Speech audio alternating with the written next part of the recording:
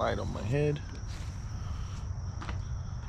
Got this bad boy out here.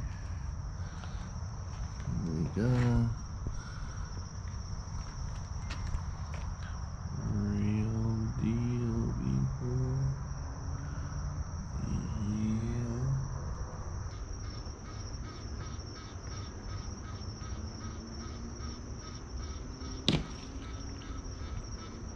Mm-hmm.